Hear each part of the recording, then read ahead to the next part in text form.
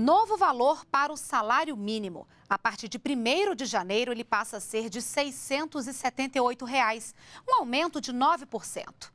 Também foi anunciada a isenção do imposto de renda para trabalhadores que recebem participação nos lucros com valor de até 6 mil reais o valor do salário mínimo vai passar de 622 para 678 reais. A medida provisória, assinada pela presidenta Dilma Rousseff, vai ser publicada no Diário Oficial da União nesta quarta-feira. Portanto, com reajuste de cerca de 9%, considerando a variação é, real que nós tivemos de crescimento mais a inflação.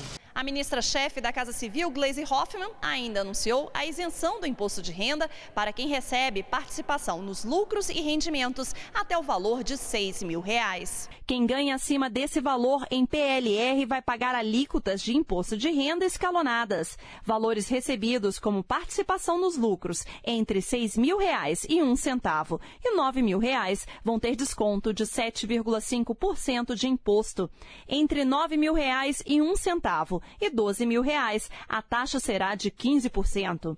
Entre 12 mil reais e um centavo e 15 mil reais vai ser tributado em 22,5% de imposto. E quem ganha mais de 15 mil reais deverá contribuir com 27,5%. Isso terá um impacto de desoneração na área fiscal de cerca de 1 bilhão e 700 milhões de reais.